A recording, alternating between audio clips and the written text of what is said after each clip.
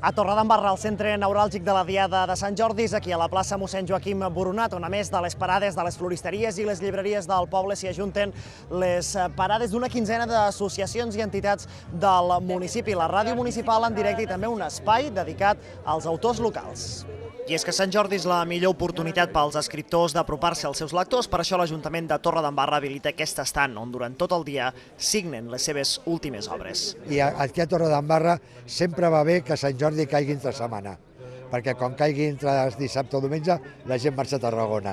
En canvi, si cau entre setmanes, ens queden aquí. Molt bé, està sent molt bé, m'agrada molt bueno, tot l'ambient que s'ha creat aquí amb la musiqueta aquesta que tenim, la ràdio, i la veritat és que tot molt bé tot, m'està agradant molt. L'altre atractiu del Sant Jordi Torrenc és la forta implicació del teixit associatiu del municipi que cada any surt a la plaça mossèn Joaquim Boronat per recollir fons per les seves causes socials, des de llibres de segona mà, roses fetes artesanalment i altres propostes literàries amb l'objectiu de portar l'activitat de les entitats més enllà del dia a dia. Nosaltres estem venent llibres i, i, i roses per recollir, per recaptar diners per, per activitats de la colla.